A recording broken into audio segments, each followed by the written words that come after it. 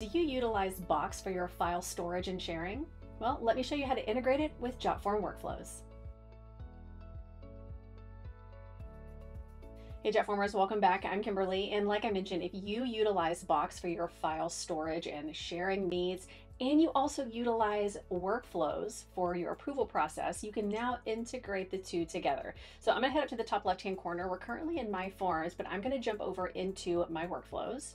Then we'll create a workflow. And for this, I'm just gonna do a simple one-step approval process. So we see a really nice bird's eye view. We have a starting point and we're going to choose our form. Once they complete that form, we have the approval process, we have approve, they'll get an email and deny, they'll get an email. So let's go ahead and choose that form for our starting point. Now from here, we can choose a form or we can create a new one. I'm gonna go ahead and create a new one from scratch on the classic form.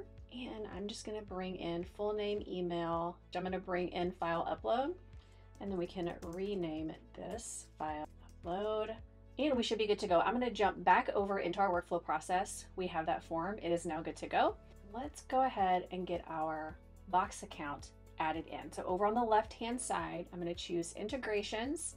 We have Box, and then we have send files. I'm gonna go ahead and bring it in right under the approvals. So I'm gonna go and get everything connected real quick. Now let's complete our box settings. Let's go ahead and authenticate. Now, right at the top, we have enter the folder name. So I'm gonna go ahead and call this file uploads. Next, it wants to know if we want it to create a subfolder for each submission. Totally up to you for this. Let's go ahead and turn that on so we can see what that's going to look like. We have the submission ID and we can also pull from the form fields as well. We can add in that form title if we'd like. Next is to send the submission PDF to Box. So yes, we definitely want to do that. And if there are any upload fields, do we want to send that as well? Yes, we do. So let's go ahead and publish and we'll open in a new tab and give this a test. We'll do our good friend John Smith and we'll browse for a file and we can submit. Now from here, as the approver, I am going to get an email to let me know that I need to come into my inbox and approve or deny this request. But since I'm here, I can easily jump over into my inbox. And here we see John Smith, he is in progress. We have some action required. I can review everything that he submitted. I'm gonna go ahead and approve. And since we have that box integration, we will also see that there is integrations running right here.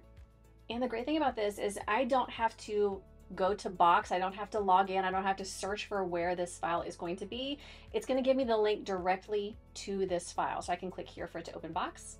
And here is the PDF version of our submission. And then we also have access to the file that they uploaded right here. And it's really as simple as that. If you have any questions about how to integrate your Box account with JotForm Workflows, let us know down below in the comments. If you like this video and you got some value, hit that like button and don't forget to subscribe and turn on the bell so you get notification every time we put out a new video. I'll see you next time.